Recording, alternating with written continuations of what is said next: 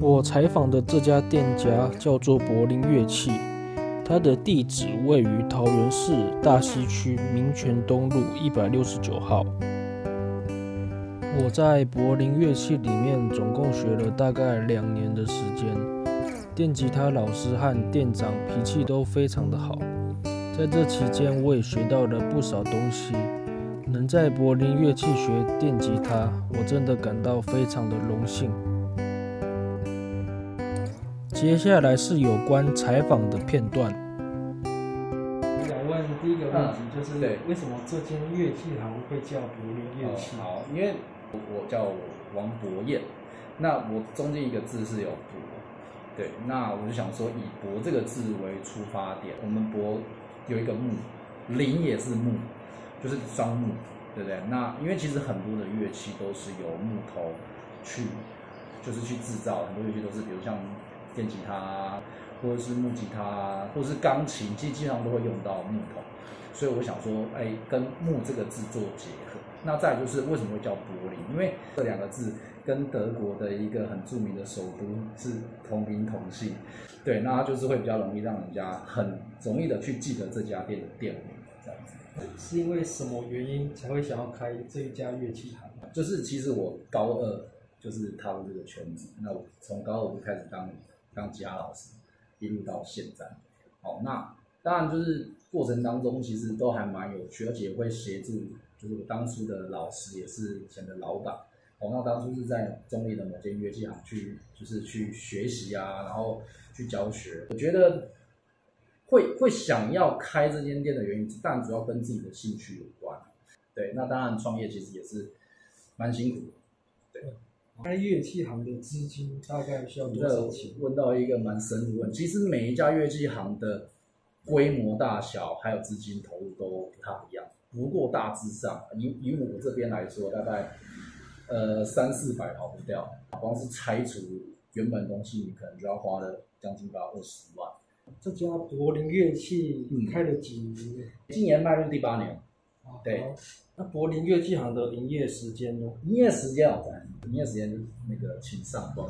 好，那开这一家店一开始有没有遇到什么困难？那是怎么样克服的呢？困难哦，想办法让客源进来。那当然，我们一开始全大溪的一些可能的范围，然后我们去派报。我们所谓派报就是。就像你们平常家里会有一些报章杂志，就去派报，然后甚至比如说我会留一些有一些那个稿子，然后就是就是路上可能看到学生我们就发这样子。这过程中非常辛苦啊，因为你你都是一个人，那你要教课，你要处理这些事情之外，我们店里面基本上呃全年无休，所以在第一年、第二年基本上我我个人的工作量是没有在休息的。这就是时间的问题啊，就是你只要熬过这困难就可以解决。那开幕到现在有没有遇到过比较印象深刻的事情？那就是我们有办过大概百人的成果发表，人数蛮多的，然后我们还分上上下场，那我们也跟了就是有店一起合作这样子，然后共同去举办一个成果发表，让别人去看到，哎，你们两家店的特色在哪？好，然后。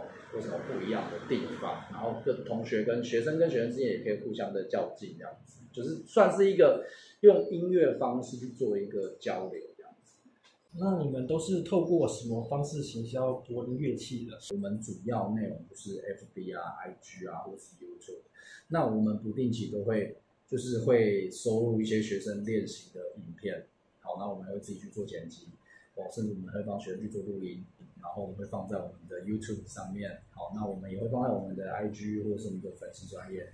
柏林乐器可以做什么事情？好，的项目其实蛮多的，除了比如说乐器的贩售啊、音乐的教学啊，那还有一些比如说乐器的维修啊等等之类的。那主要我们在教学项目的话，还有提供一些比如说木吉他、电吉他，呃，还有什么爵士鼓啊、贝斯啊、长笛、小提琴、古典钢琴跟键盘。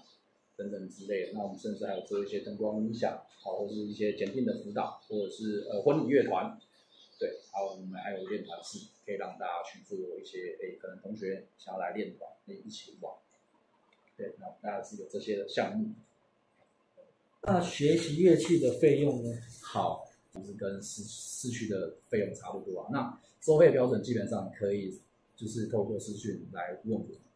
那我们先简大大约上讲一下，就是就是我们一期是四堂课，那每堂课是一小时。好，那我们都是一对一的方式上课。那时间基本上是看你的选择跟老师的时间有没有办法配合。那原则上我们上课时间就是每周就是同一个时间同一个时段，然后固定的时间上课。都是哪个族群来学的比较多？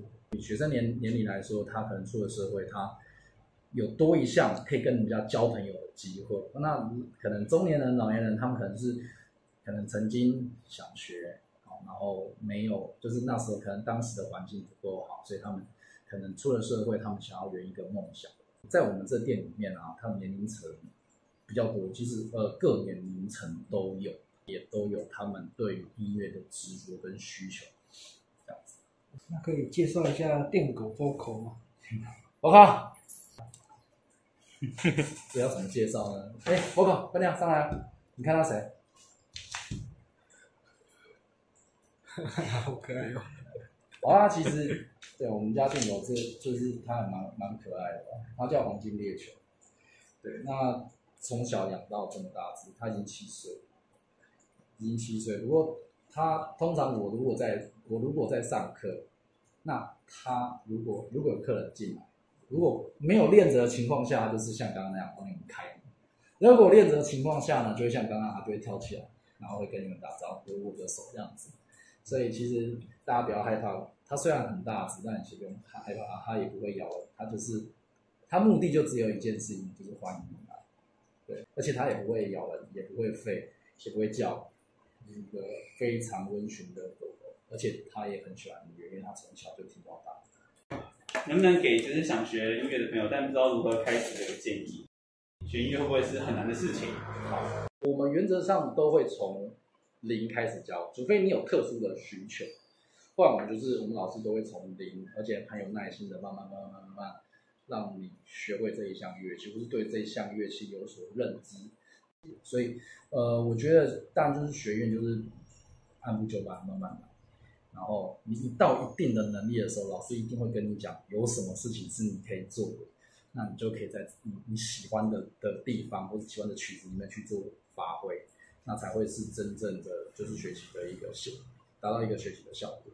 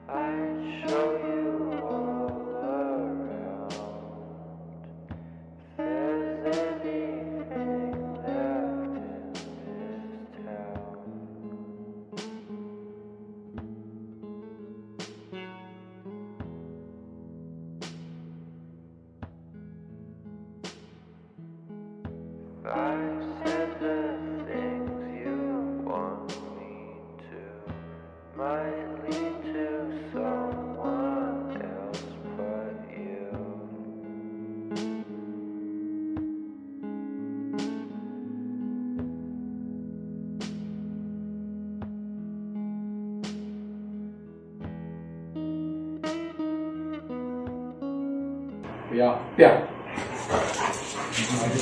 等，等等，不可以哦，不可以哦，不可以先吃哦，等等哦，等等哦，不可以哦，好。